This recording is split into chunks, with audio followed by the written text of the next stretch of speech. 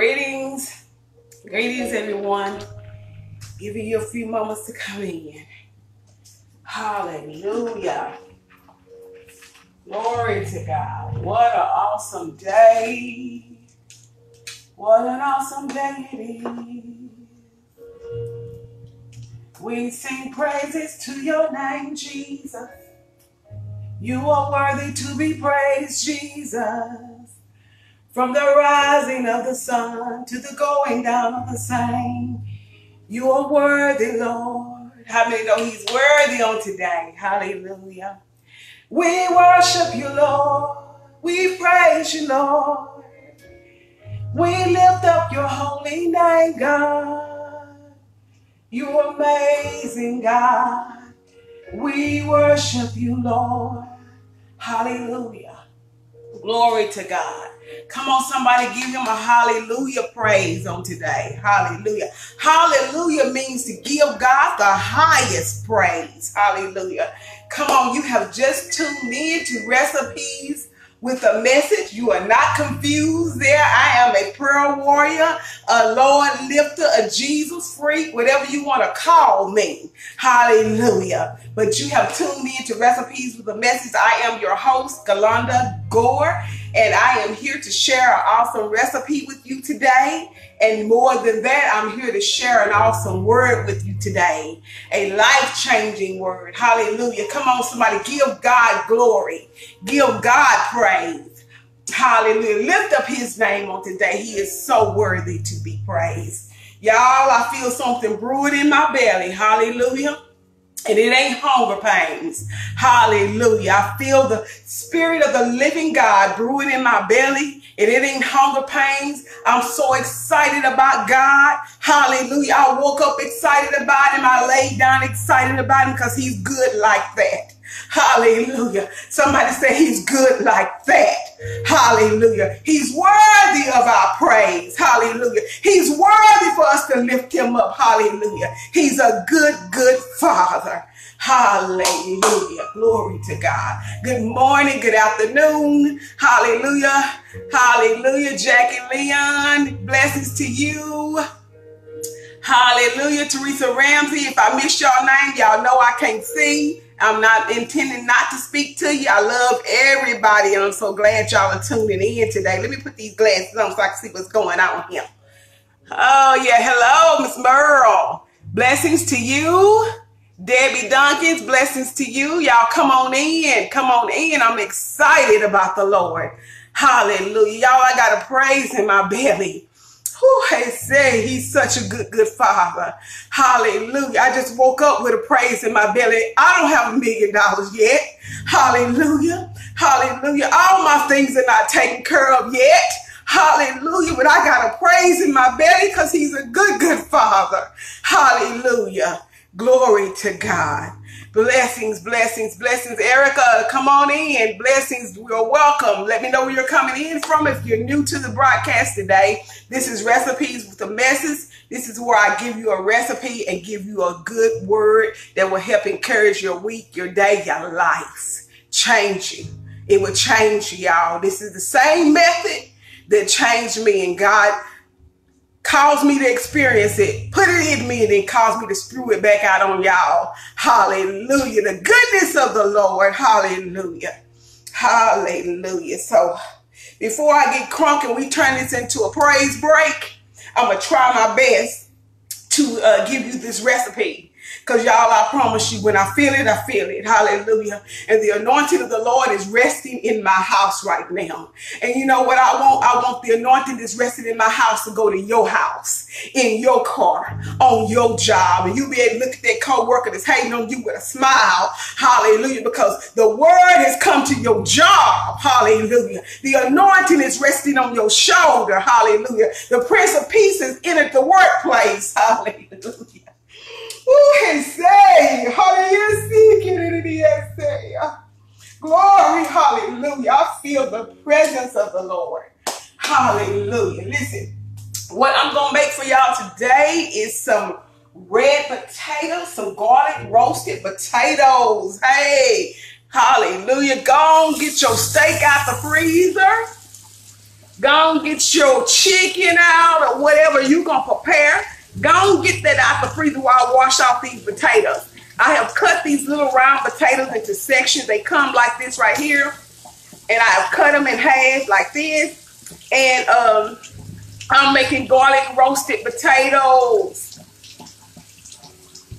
Yeah, somebody say yes. So now that they are clean and washed for the second time, because I'm a cleanie, uh, we're going to get ready to uh, garnish them and get them ready to go in the oven. How about that, you guys? So I can get into this word that's brewing in my belly. Hallelujah. That I'm so excited about. Listen, I got my little crisper here. If you have one, I got my little copper crisp, crisper. I like my red skins on my potatoes crispy and delicious. So I got my crisper right out there. And I'm going to wash my hands again and get on to seasoning them and garnishing them so they can go in the oven, y'all, and come out and go with this ribeye steak that I'm going to cook today. I will garnish these bad boys, these potatoes, when I get them out of the oven and get ready to eat them this evening. I'm going to put some bacon, uh, real bacon bits on mine, and some sour cream and cheddar cheese on mine. That you can do them plain, however you want to do them. But they will be well seasoned and ready to eat the minute you take them out the oven. Okay, so I put my potatoes, my red potatoes, I leave the skin on, and I put them this side up where I've cut it. I make sure I put them in my little pan that side up, most best as possible. And then what I do is I take me some extra virgin olive oil and I sprinkle just a dab all over them. Just a dab of oil all over me over them. If I take the top off, y'all, I thought I had the top still off. I sprinkle my olive oil on there. I was wondering why it wasn't coming out. Dang. I am doing show, Rhonda. Okay, there you go. Okay. Now, you sprinkle the olive oil on the top. And then what I do is I have some garlic and parsley. I do about a teaspoon, a half a teaspoon of garlic and parsley. I sprinkle that over the top of them real good and make sure they're really good and seasoned. And it cleaves to that olive oil that I've already put on my potatoes. It just kind of cleaves to them. You don't want to overpower your, your potatoes with a lot of seasoning. You don't want to overpower them because how many know you love the taste of a versatile good potato? So I do about a teaspoon, matter of of that seasoning.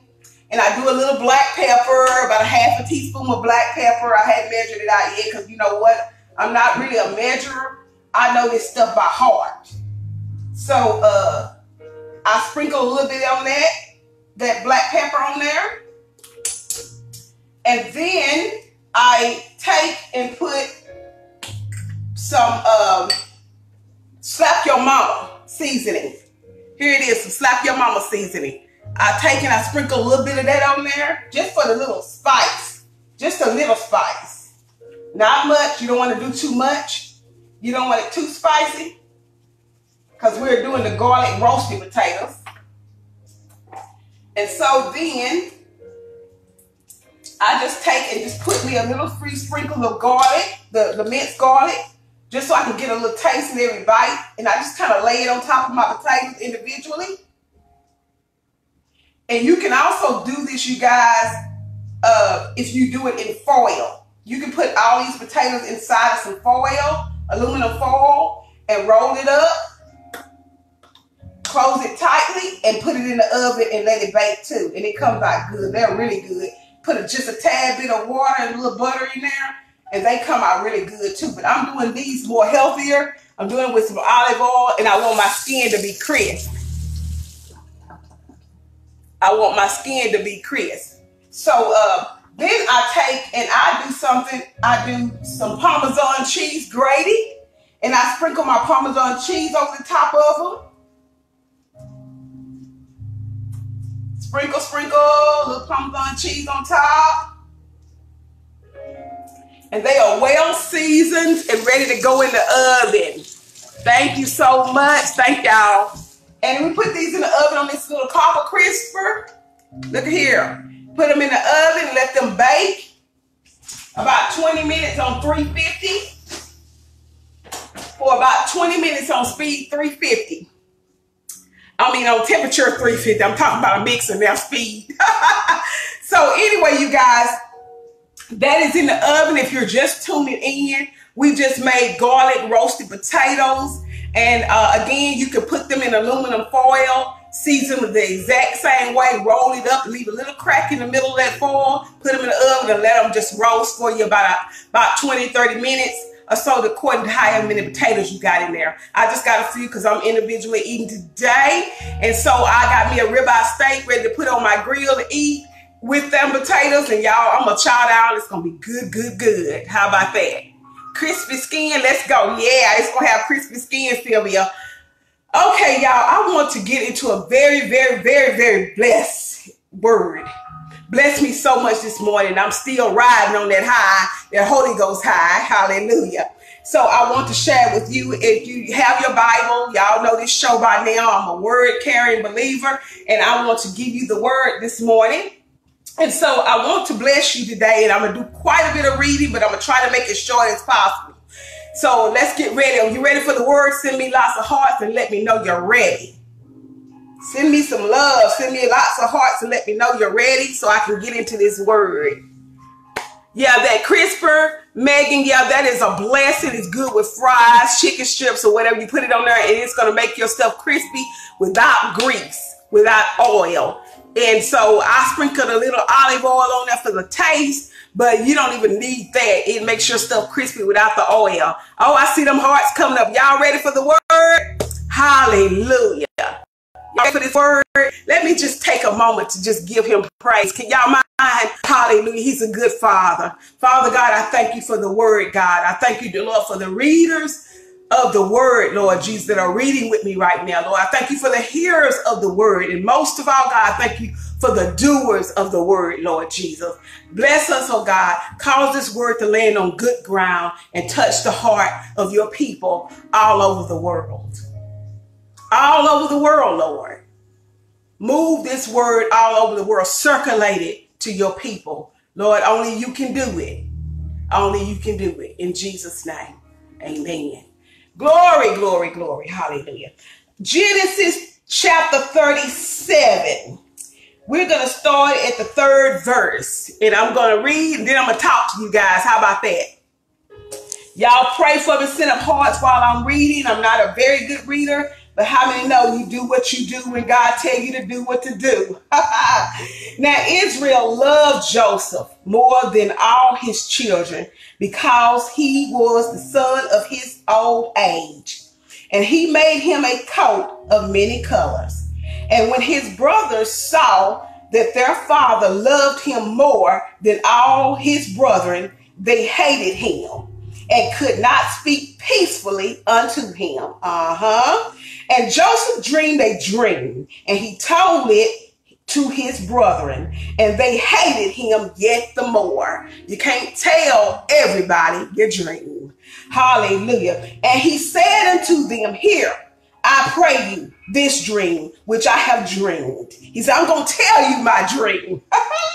For behold, we were binding sheaves, and in the field, and lo, my sheaf arose and also stood upright. And behold, your sheaves stood round about and made obstinate to my sheaves. And his brothers said to him, Shall thou indeed reign over us? People don't like that. Hallelujah. Don't do, you can do good, but don't do better than them. Or shall thou indeed have dominion over us? And they hated him yet the more. That dream was stirring up something. Hallelujah. Y'all got to beware of dream killers. They are out there. There are people out there that are jealous of your dream. Hallelujah. You don't tell people your plan until you have executed your plan. Hallelujah. Because there are a such, there is a such thing as a dream killer. Who am I talking to today? Hallelujah. And they hated him all the more for his dream and for his words. And his dream yet, and he dreamed yet another dream and told it to his brother and said, Behold, I have dreamed a dream more. And behold, the sun and the moon and the 11 stars made obstacles to me. And he told it to his father and his brethren, and his father rebuked him and said unto him, What is this dream that thou hast dreamed? Shall I and thy mother and thy brethren indeed come to bow down ourselves to thee to the earth? And his brethren envied him, and his brothers envied him. Hallelujah. Let me say it again. And his brothers envied him. And his father, but his father observed the saying. Listen, you got people that will envy you and hate you for your dream. And then you got those people that will watch. Hallelujah. That will just sit and observe. Hallelujah. They know something special about you, but they, they don't want to completely say you're not going to do it but they just observe and watch. So here is his father says, and but his father observed him. Let's skip on over here to verse 20. If y'all want to read this, read this in its entirety. It's a really good chapter. Hallelujah. It's a real big blessing to you. Let's start, let's get over here on to about the 18th verse. And when they saw him afar, here comes Joseph. They told him his dream and he's coming into the field. And the Bible says in chapter, in verse 18, and when they saw him afar off, even before he came near unto them, they conspired against him to slay him. They made a plot against him to slay him. And then, and they said one to another, Behold, this dreamer cometh. Come now, therefore, let us slay him and cast him into the pit, and we will say, Some evil beasts have devoured him, and we shall see what will become of his dreams. I'm going to stop right there. Hallelujah. Help me, Holy Ghost. Help me, Holy Spirit. Hallelujah. Listen, be careful who you reveal your dreams to. Complete your mission. Complete your goal. Complete your dream before you go telling everybody. Because there are some people in this world that don't want to see you prosper. Like I said, they don't mind you prospering as long as you don't prosper above them. That's when envy comes out. That's when jealousy comes out. Listen, I don't want to get you stuck right there, though. I want you to see the big plan. Joseph went through the pit to the palace. He was lied on, uh, sold into slavery, and he went through a lot of trials and tribulations. Hallelujah the brother said, let's see what become of his dream. Hallelujah. When we kill him, let's just see what happens to his dream. Hallelujah. Let me tell you what happened to his dream. Whew. They came true. His dreams came true. They did bow before him. God did raise him up. God did put him in a position of authority. Ooh, hey, see it, see y'all. Here's the deal, y'all. We have to focus not on the dream killers. We have to focus on the ultimate dreamer. You see, God is the ultimate dreamer. When God gives you a dream, it comes from his mind. Hallelujah. So he is the ultimate dreamer. Hallelujah. He is the dreamer with all authority to cause what he put in you to come to pass. So Joseph didn't get stuck on the review mirror looking back at what they had done to him. Joseph kept his focus in front of him. In spite of all that was going on, in spite of all the lies, Apostle Wise lied on him, in spite of all that, Joseph kept the vision in mind, the dream. And he kept on dreaming, and he kept on dreaming. And his dreams opened doors for him. Review mirror, you can't dream, y'all.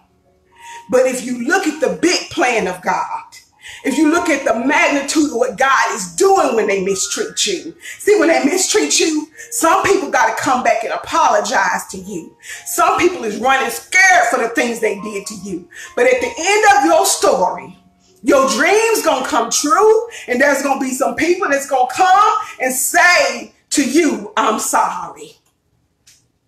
I'm sorry I didn't believe in your dream. I'm sorry I couldn't see what you saw because of jealousy and envy. Hallelujah. You just got to keep dreaming. Who said that right there? Megan. Yes, you just got to keep dreaming. Put your focus on God, the ultimate dreamer, the one who gives dreams. Hallelujah. The one who causes you to succeed. Hallelujah. The one that causes you to prosper. Hallelujah. Let me tell you something, y'all. If I had to listen to people about what I know God put in me, I wouldn't be standing here talking to you now with three businesses in my hands. If I had to listen to the negativity that came out of people's mouth when they say, you don't even have a diploma. You don't even have a high school education. How could you think you go tutor and help mentor men coming out of prison? I said, but I got God and I got a dream. He gave me a dream. He gave me a dream, y'all. Hallelujah. That's all I needed. The dreamer, the ultimate dreamer, gave me a dream. Hallelujah. Hallelujah. People would do things to you and they will hate you. You just got to love them anyway. And how you love them anyway, you got to focus on your future. You got to focus on what's in front of you. If you get stuck worrying about how they hurt you, how he left you, left you with nothing, how he left you with them three kids to raise, if you get stuck there, you won't fulfill your dream. But if you put your focus on the ultimate plan of God, he says, I know the plans I have for you. They are good and not evil. They are to give you an expected end. Who has said they are to cause your dreams to come true? Hallelujah. If you put your focus right there and stay there, you'll find yourself don't even remember who they are. You know why you won't remember who they are? Because at the end of your story, you won't even be the same. You won't look the same. You won't act the same. You won't talk the same. You won't hate or anything. You will be at perfect peace because you know in the big grand scheme of God, he had a plan in mind. This is why I don't hate my enemies and the people that came against my dream. Because the big picture is for me to stand right here in front of you and minister this gospel. They might have meant it for evil, but God meant it to save many lives. Ain't that what Joseph told them? You meant it for evil but God meant it for my good. That many, many nations, many people will be saved. Oh. Hallelujah. Hallelujah. Glory to God. So then, be encouraged. Don't worry about the hater. Don't worry about the naysayer. Don't worry about the people that's coming against you. There are people in this comment section talking right now. Hallelujah. But let me tell you something, baby. Those that are negative in this comment section, you can't kill a dreamer. You can't kill this dreamer. You can't kill this dream. Hallelujah. God appointed me, anointed me for such a time as this to reach his people. If you are blessed by the message, let me know. If you are blessed by the message, let me know. Hallelujah. In the end, a dream gives you courage. The dream in the inside of you will give you courage to step in places that you would never step in. That's why they couldn't tell me because I'm a ninth grade dropout, I can't own my own business. I had a dream. That's why they couldn't tell me I couldn't start my own businesses because I had a dream. The dream supersedes doubt. Dreams supersedes doubt. Dreams overrides negativity. Do you have a dream today? Pursue your dream, woman of God. Pursue, pursue your dream, man of God. Hallelujah. Hallelujah. They meant it for evil, but God meant it for good. Hallelujah. I hope I bless you on today. Hallelujah. Don't get stopped where the dream killer left off. Get going. Get going on what the dreamer, the ultimate dreamer, gave you to dream. Be activated by the power of God.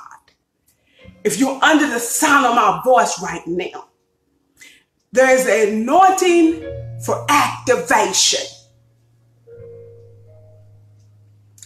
Woo, just put in there. Somebody said, She has just activated me through the word of God. You have just been activated. So where the enemy tried to deactivate you, you have just became activated in your dream, in your purpose, in your business, in whatever it is that God gave you to dream about. Hallelujah. I love you all with the love of God. Don't ever forget it. Hallelujah. A lady wrote something on my post and she asked me how could she give into my ministry. And I'm going to share it with y'all, not because I need or want anything from you, but I once sowed a seed into somebody and I had begun to to question or to ask God, why would I have to give my last to this person? And the Lord says, they don't need it. You do. And I'm going to say the same thing back at you. I may not have need of what you want to sow, but you may have a need. And if you want to sow into this anointing, you can. Just cash out dollar sign Galanda Gore. If you don't, you're going to still see me in a couple of days ministering the gospel. You're going to still, still see me giving you the word of God. Because my ministry, my love for people, and what I do is not predicated on a dollar bill. I was delivered from that 20 some years ago, if I ever had an issue. I don't know. But I want to encourage you to pursue your dreams. Miss Clark says she has just been activated. I love you, Miss Clark. You most definitely have. Hallelujah. No longer pay attention to the dream killer. Put your focus on the dream giver. Your dream giver is God. He is the ultimate one that downloads a dream into your spirit. You get busy doing your dream. You get busy doing you. You get busy focusing in front of you. Don't look back in the rearview mirror anymore at the naysayers, the complainers, the ones that don't support, the ones that don't help, but they always talking. Y'all ever notice the one that's always belittling and putting people down, talking about people, is the one ain't doing nothing. Successful people, busy people, people that's going somewhere don't have time to stop and focus on everybody's business and talk about people. Remember that. Remember that. Hallelujah. We don't have time for it. Somebody said, We don't have time for that. Hallelujah. We got a dream to pursue. Hallelujah. So, as I shut my Bible this, this afternoon, the brother said, Let's see what becomes of the dreamer once we kill him. The dreamer survived. The dreamer survived it because the hand of God was with him. The plan of God was with him and it came to pass. Much love. Have a blessed day. I will post a picture of my garlic roasted potatoes along with the recipe if you like to make them tonight for someone special or yourself or you're special. Get you some flowers, set you some candles on the table to have you a good dinner because that's what I'm going to do. I'm going to have my flowers, my drink, my roasted potatoes, my ribeye steak, and my garlic toast and my salad, and I'm going to get down tonight, y'all. Much love.